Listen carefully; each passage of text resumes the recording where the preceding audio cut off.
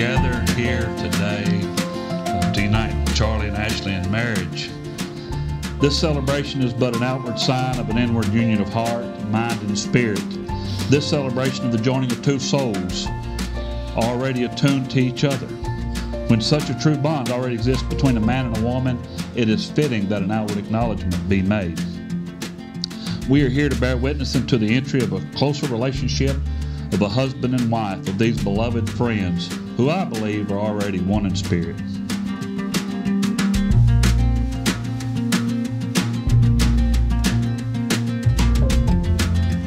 Ashlee, you're my very best friend, and over the past three and a half years, I've witnessed how amazing of a woman you are.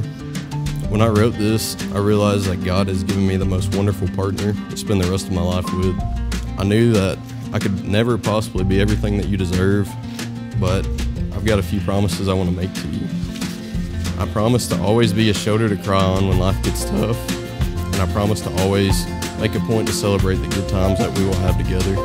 I promise to always encourage you when you feel that you need encouragement, and to always be here to support you. I promise to make you only second to God, first to everyone, and anything else. No matter what we're faced with in life, I promise to stand with you forever.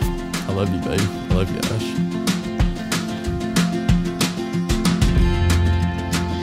Charlie, I've prayed my whole life to find the person I would spend forever with. I prayed for a man who would protect me, a man who would make me laugh, a man who would still love me even when I'm hangry, a man who would never leave my side. But most importantly, I prayed for a man that prayed for me. You are that man. I never would have dreamed that my 15 year old crush would be standing on the other side of this wall, vowing to love me for the rest of forever. I promise to spend the rest of my life loving you the way you love me. I promise to put God first and you second.